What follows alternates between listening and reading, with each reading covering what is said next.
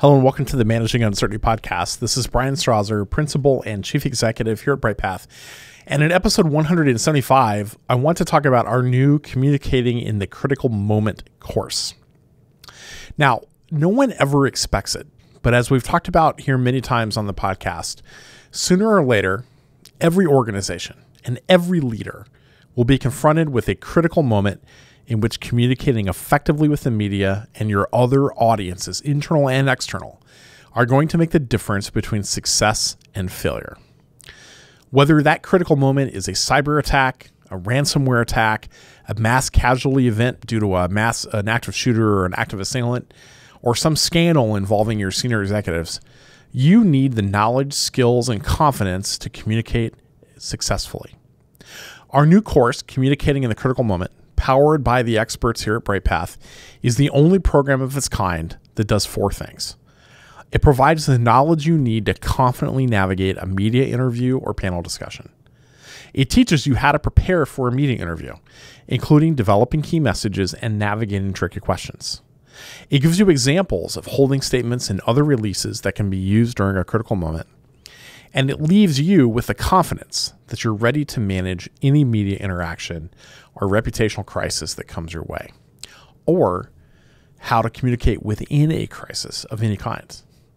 So, if you're ready to understand how to interact with the media, craft key messages for multiple groups of stakeholders, and get out your message simply and effectively without confusing jargon, overwhelm, and uncertainty or embarrassment that you get in other media training, then this course might be right for you. So, what's in it? In the kickoff module, we welcome you to the course. We give you an outline for success. We tell you how to get the most out of the course, and I introduce myself as your instructor. In Module 1, we have the bulk of the substance of the course. We talk about how to deal with the media and how to prepare for that media interaction. And we talk through crisis communications in the critical moment. How do you deal with that actual critical moment? And then, even before you get there, how do you prepare for it and how do you learn from it after it's over? In Module 2, we share four example videos of the good, the bad, and the ugly with crisis communications. We start with Ted Kennedy's the question Ted Kennedy was asked in the 70s, why do you want to be president? And his answer shockingly sunk his presidential campaign. In lesson two, we cover the playbook for sex scandals and how initial denials often then turn into acceptance and culpability and admission in front of press. In lesson three, we look at Anthony Weiner and his famous. Well, I don't know who posted the picture of my junk on Twitter. It was a hack or a prank. And in lesson four, we talk about how to dominate a panel discussion, and we show you the example of Athena Health, former Athena Health CEO Jonathan Bush, dominating a four person panel on CNBC, sticking to his key messages. In Module 3, we wrap up the course. Uh, we have a brief wrap up lesson we talk about our, our recommendations for crisis communications.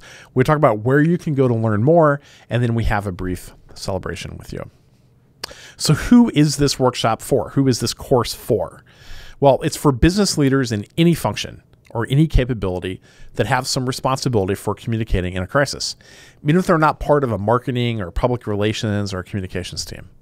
The course is intended for those who want to learn or improve the knowledge and skills necessary to confidently manage interaction with the media and communicate during a crisis.